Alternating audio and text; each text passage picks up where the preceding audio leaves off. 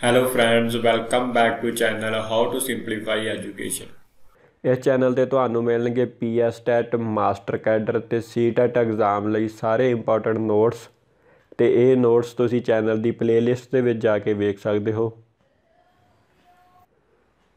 ਪੰਜਾਬ ਦੇ ਵਿੱਚ ਟੀਚਰਾਂ ਦੀ ਭਰਤੀ ਨਾਲ ਰਿਲੇਟਡ ਨਵਾਂ ਪਬਲਿਕ ਨੋਟਿਸ ਜਾਰੀ ਹੋਇਆ ਹੈ ਤੇ ਇਹ notice Punjab public service commission ਵੱਲੋਂ ਆਇਆ ਹੈ। ਜਿਸ ਦੇ ਵਿੱਚ ਜੋ ਹੈੱਡ ਮਾਸਟਰ ਤੇ ਹੈੱਡ ਮਿਸਟਰਸ ਲਈ ਜੋ ਪੋਸਟਾਂ ਨਿਕਲੀਆਂ ਸਨ, ਉਹਦੇ ਰਿਗਾਰਡਿੰਗ ਇਹ ਨੋਟਸ ਆਇਆ ਹੈ। ਆਓ ਜੀ, ਪੰਜਾਬ ਪਬਲਿਕ ਸਰਵਿਸ ਕਮਿਸ਼ਨ ਵੱਲੋਂ ਅਧਿਆਪਕਾਂ ਦੀਆਂ ਹੈੱਡ ਮਾਸਟਰ ਦੀਆਂ ਪੋਸਟਾਂ ਨਾਲ ਰਿਲੇਟਡ ਆਏ ਇਸ ਪਬਲਿਕ ਨੋਟਸ ਨੂੰ ਦੇਖਦੇ ਹਾਂ। Punjab public service commission Patiala ਵੱਲੋਂ ਇਹ ਨੋਟਿਸ ਆਇਆ ਹੈ ਜੀ।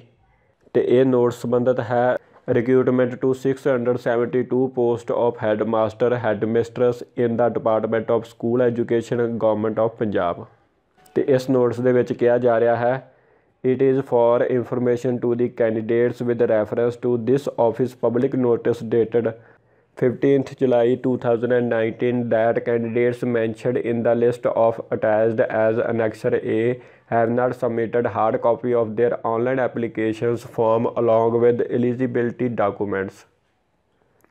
These candidates are again directed to submit hard copies of online application form along with all eligibility documents by 28th November 2019 by hand in person at the reception counter of the commission failing which their candidature will be rejected without any further notice.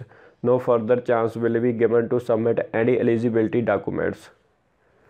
ਤਾਂ ਜੀ ਇੱਥੇ ਦੱਸਿਆ ਜਾ ਰਿਹਾ ਹੈ ਜੀ ਜੋ ਅਨੈਕਸਰ A ਦੇ ਵਿੱਚ ਇੱਕ ਲਿਸਟ ਜਾਰੀ ਕੀਤੀ ਗਈ ਹੈ ਇਹ ਉਹਨਾਂ ਕੈਂਡੀਡੇਟਸ ਦੀ ਲਿਸਟ ਜਾਰੀ ਕੀਤੀ ਗਈ ਹੈ ਜਿਨ੍ਹਾਂ ਨੇ ਹਜੇ ਤੱਕ ਹਾਰਡ ਕਾਪੀਜ਼ ਬੋਰਡ ਨੂੰ ਸਬਮਿਟ ਨਹੀਂ ਕੀਤੀਆਂ ਉਹਨਾਂ ਨੂੰ ਇੱਕ ਲਾਸਟ ਚਾਂਸ ਦਿੱਤਾ ਜਾਂਦਾ ਹੈ ਕਿ ਉਹ ਆਪਣੀਆਂ ਹਾਰਡ ਕਾਪੀਜ਼ 28 11 2019 ਤੱਕ Punjab public service commission Patiala ਦੇ ਰਿਸੈਪਸ਼ਨ ਕਾਊਂਟਰ ਤੇ ਜਮ੍ਹਾਂ ਕਰਵਾ ਦੇਣ। 28 11 2019 ਤੋਂ ਬਾਅਦ ਉਹਨਾਂ ਨੂੰ ਡਾਕੂਮੈਂਟ ਜਮ੍ਹਾਂ ਕਰਾਉਣ ਲਈ ਹੋਰ ਸਮਾਂ ਜਾਂ ਚਾਂਸ ਨਹੀਂ ਦਿੱਤਾ ਜਾਵੇਗਾ। ਤੇ ਇਹ ਨੋਟਿਸ ਉਹਨਾਂ 672 ਪੋਸਟਾਂ ਦੇ ਲਈ ਹੈ, ਜੋ ਕਿ ਹੈੱਡਮਾਸਟਰ ਦੀਆਂ ਪੋਸਟਾਂ ਨਿਕਲੀਆਂ ਸਨ ਜਿਸ ਦੇ ਵਿੱਚ ਜੋ ਕੈਂਡੀਡੇਟ ਸਿਲੈਕਟਡ ਹੋਏ ਹਨ, ਉਹਨਾਂ ਦੇ ਵਿੱਚੋਂ ਕੁਝ ਕੈਂਡੀਡੇਟਸ ਨੇ ਹਜੇ ਤੱਕ ਹਾਰਡ ਕਾਪੀਜ਼ ਜਮ੍ਹਾਂ ਨਹੀਂ ਕਰਵਾਈਆਂ ਹਨ। ਇਸ ਲਈ ਉਹ ਸਾਰੇ ਕੈਂਡੀਡੇਟਸ ਐਲੀਜੀਬਿਲਟੀ ਡਾਕੂਮੈਂਟ ਤੇ ਆਪਣੀਆਂ ਹਾਰਡ ਕਾਪੀਜ਼ 28 11 2019 ਤੱਕ ਜਮ੍ਹਾਂ ਕਰਵਾ ਦੇਣ।